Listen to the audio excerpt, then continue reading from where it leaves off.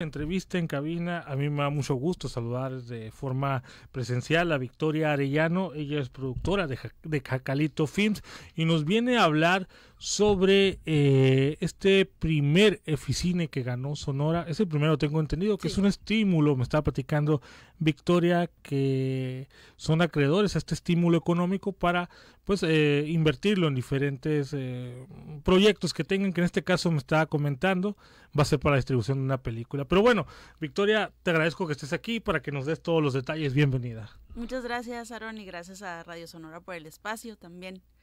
Este, sí, el Eficine es un estímulo fiscal que existe desde hace como 30 años en, en Sí. el país, pero bueno, estaba muy centralizado, ¿no? Eh, Es para proyectos de producción o de distribución cinematográfica nacional. Entonces, pues con la novedad de que es la primera vez que, que lo jala una productora sonorense para un proyecto sonorense, ¿no? ¿Cu- ¿Cuánto tiempo tiene ya Jacalito trabajando? ¿Cómo es que, que llegaron y ganaron este, este, este estímulo? Pues Jacalito tiene desde el 2009 eh, existiendo y pues nada, con muchísimo trabajo, muchos intentos, ya lo habíamos intentado antes también para, para otros proyectos y es pues mucho trabajo, mucho aprendizaje, mucho eh, formar equipo, ¿no? Aprender, equivocarse, ensayo y error básicamente, ¿no? ¿Qué- qué? No, no, y es que esto te lleva precisamente a este producto, ¿no? A este, a este logro, a este éxito que tuvieron de, de traer, de ganarse este estímulo. Sí, sí, sí. Y sí, como te digo, por ejemplo, en este periodo de proyectos de distribución, eh, 21 estímulos son de para casas productoras de la Ciudad de México, uno para Nuevo León, uno para Michoacán y uno para Sonora, ¿no? Entonces, Sí, fue bastante la competencia. sí. Y bueno, ¿qué, qué, qué significa para Jacalito ganar este estímulo?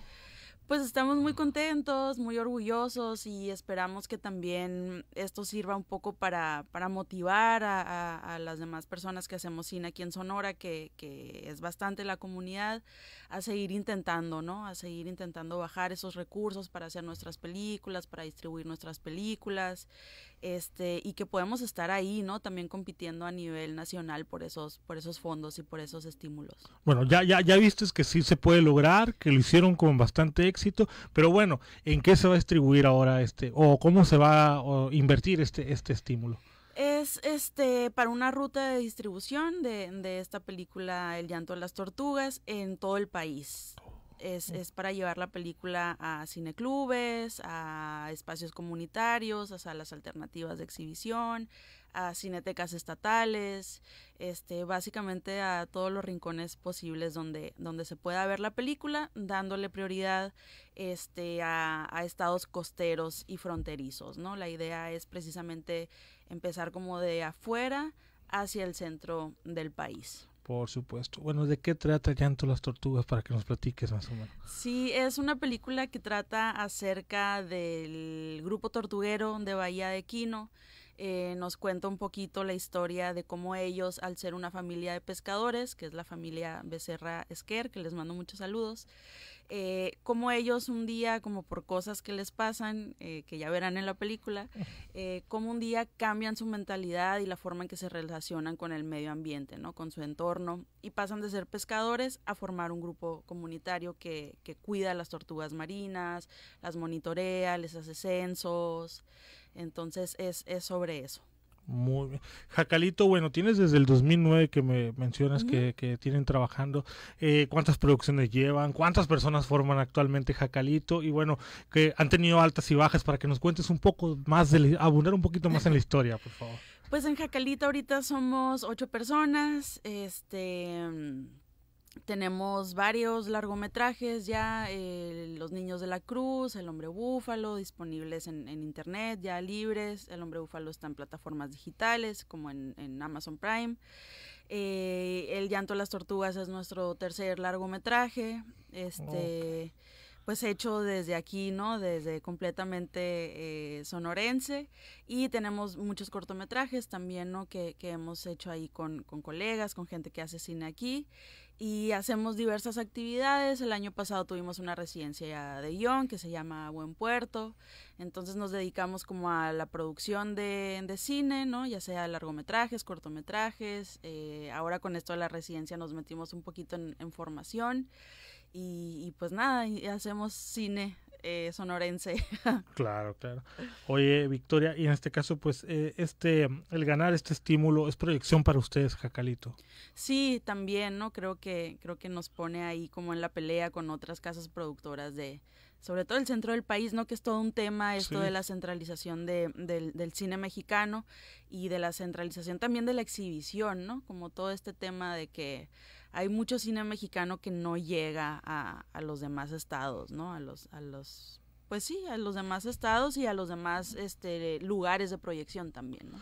Oye, Victoria, ¿a qué se debe esta centralización del cine, de las obras que se filman en el centro y que, bueno, que mm, hacen a un lado lo que se produce en los los demás estados?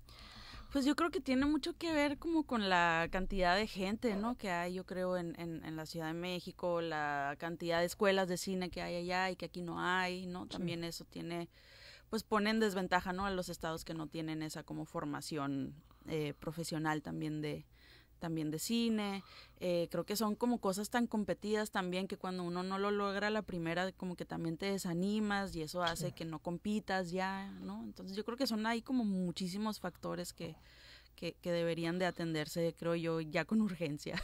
Pero ya, ya, ya, ya les dejaron en claro de que se hace buen cine desde el noroeste de México. Sí, y fíjate que sí hay mucho cine sucediendo en los estados también, ¿no? Solo que, que uno creo que se tiene que esforzar el doble, ¿no? Para sí. decir como en el centro, como que aquí estamos, ¿no? También eh, ahora en el Festival de, de, Cannes de este año, ahora en mayo, eh, viajaron muchos cineastas de Baja California, ¿no?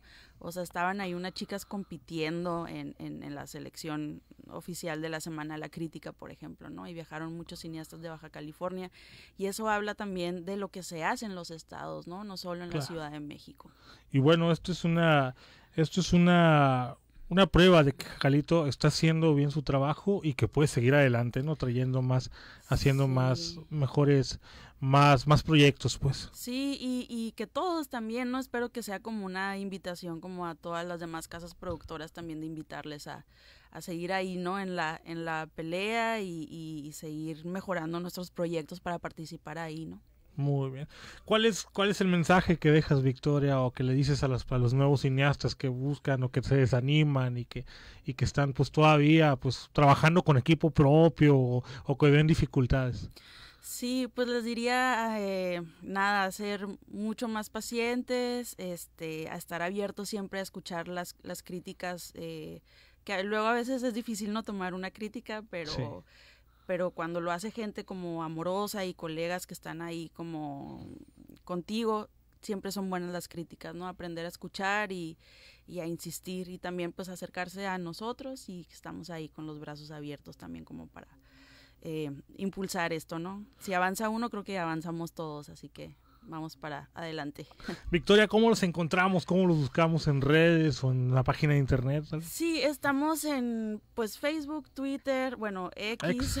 Eh, Facebook como Jacalito Films y tenemos página eh, solamente para la película que es, es arroba el llanto docu sí. y ahí estaremos inv invitando a las proyecciones, ¿no? También. Por supuesto. Pues te agradezco que nos hayas acompañado esta tarde, Victoria, y pues muchas felicidades para ti y todo tu equipo que ganaron este, este estímulo. Gracias.